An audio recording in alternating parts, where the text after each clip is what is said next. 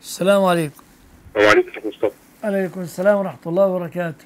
بقول لحضرتك يجوز العمل بالقضاء رغم على العلم إن إحنا ما بنحكمش بآيات الله؟ أقول لك شيئا. لو على الوضع الذي نعيشه على الوضع الذي نعيشه. تمام. في قاضي حرامي مرتشي تمام. وقاضي صالح ليس بمرتشي. تنصح أنت بماذا؟ تنصح القاضي الصالح يصيب العمل ويبقى المرتشون الظلمة أو يقيموا العمل ويقيموا أمر الله قدر استطاعتهم لأنهم مجبرون أستنصحك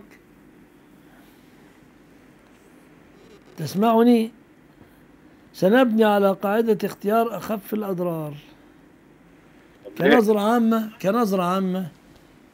مع الوضع الذي نعيشه من تنحية شرع الله سبحانه. القاضي الذي يقضي في المحاكم الآن مخير أو مجبر على القضاء؟ مجبر. مجبر. فلما يكون في واحد أجبر ولكن يتقي الله ما استطاع واحد ثاني حرامي وبيستغل القضاء لصالحه الشخصي. ننصح ال- الصالح بال- بالاستقالة ويترك المقام. للفاجر الحرامي.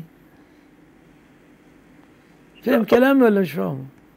طب ليه يا شيخ مصطفى؟ إحنا بنحكمش بشرع ربنا. والله أنا ليل نهار نطالبهم الله يهديهم السياسيين. والدولة كلها دولة الله يكفينا شرها. أقول لك الدستور وما الدستور. نحن نريد كتاب ربنا يقول لك الدستور. هنعمل إيه؟ صلى الله أن يهديهم. ومن هنا نوجه نصيحة للحكام ونصيحة للقضاة. ونصيحة للشعوب نصيحة للأمم للأفراد للجماعات. قال تعالى وما اختلفتم فيه من شيء فحكمه إلى الله وأن يحكم بينهم بما أنزل الله ولا تتبع أهواءهم.